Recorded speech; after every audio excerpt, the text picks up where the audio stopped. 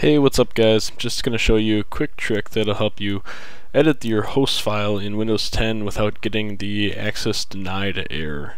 Uh, normally if you're browsing out through Windows File Explorer and you edit the file and open in Notepad, if you go in and make a change and try to save this file back to the directory, it's going to come up with this prompt here, and if you try to save it back to the original location and hit yes to replace, you're going to get an access denied.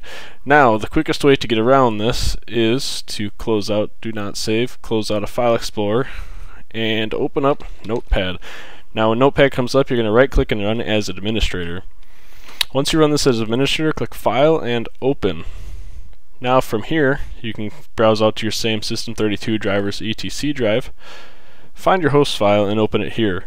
Now that you're running this as administrator and you edit this file and click save, it will save it as administrator back to the original directory. There you have it.